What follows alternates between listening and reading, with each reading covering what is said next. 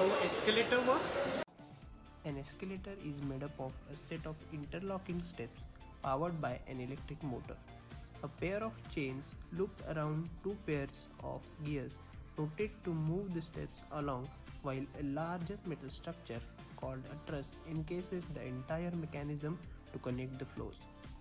The steps then move about like a conveyor belt entering into a special guide system at the top and bottom of the truss create a level platform for passengers to board or exit.